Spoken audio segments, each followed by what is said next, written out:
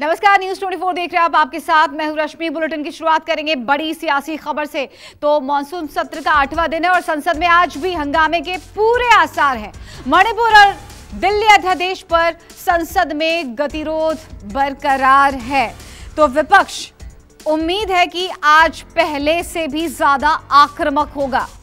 दो मुद्दे हैं, मणिपुर और अध्यादेश। और इस पर क्या होगा आज आर पार, ये देखने वाली बात होगी। तो इंडिया डेलीगेशन के सांसद दो दिवसीय मणिपुर दौरे से लौटे हैं और देखिए, आज इसको लेकर एक बैठक भी हुई और इस बैठक के दौरान सांसदों ने अपने अनुभव साझा किए, जो मणिपुर में अनुभव उनको मिला, जो हालात बने हैं, वो हालात यहाँ पर आज डिस्कस करने की कोशिश की गई है और इसको लेकर आक्रामक है विपक्ष। दूसरी बड़ी खबर, दिल्ली अध्यादेश से जुड़े बिल पर बड़ी खबर है ये। तो संसद में एनसीटी दिल्ली संशोधन बिल आज होगा पेश। एनसीटी दिल्ली संशोधन बिल पर अमित शाह का यह बयान सामने आया है। आज लोकसभा में पेश होने वाला है दिल्ली अध्यादेश बिल।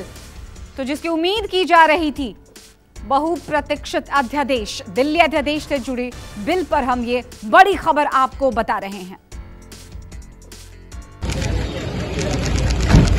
दिल्ली वाला दिल्ली वाला टेस्ट हुआ तेरा दिल्ली वाला दिन तेरा दिल्ली वाला दिन सीधे कर लेते अपने सहयोगी रमन का। रमन, देखिए, एक सुर में कह दिया है गृह मंत्री ने कि आज पेश होगा, जब पत्रकारों ने सवाल किया अध्यादेश बिल के बारे में तो। क्या कुछ जानकारी आपके पास?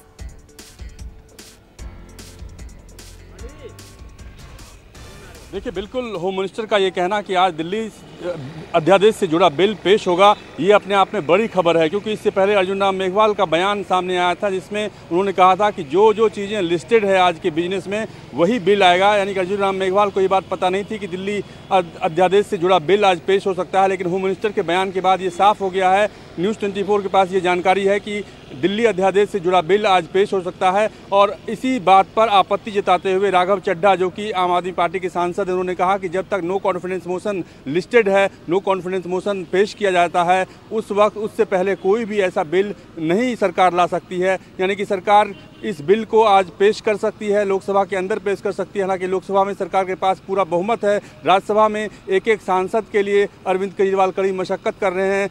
कल एक बड़ा कार्यक्रम है पुणे में जहाँ पे Lokmanya Tilak award prime minister को दिया जाना है शरद पवार के हाथों। और शरद पवार को अरविंद केजरीवाल अनुरोध कर चुके हैं कि वो इस बिल के पेश होते वक्त जो है सदन में मौजूद रहें और उनकी कोशिश है कि अवार्ड देने के बाद वो फ़ौरन दिल्ली आ, सकते हैं।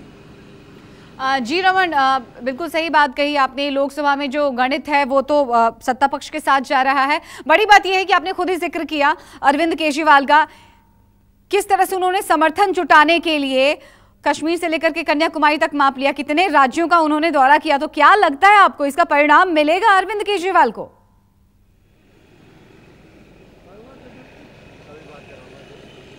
देखिए राज्यसभा में इंडिया के पास जितने सांसद हैं उससे ज़्यादा सांसद एनडीए के पास हैं। और साथ ही साथ जो Y S R Y Jagan Mohan Reddy की पार्टी है बीजू जनता दल है अभी तक बीजू जनता दल का स्टैंड साफ़ तौर पर सामने नहीं आ पाया लेकिन जगनमोहन रेड्डी की पार्टी का स्टैंड साफ़ तौर पर सामने आ गया है कि दिल्ली ऑर्डिनेंस रमन रमन आपको फ़िलहाल रोक रहे सदन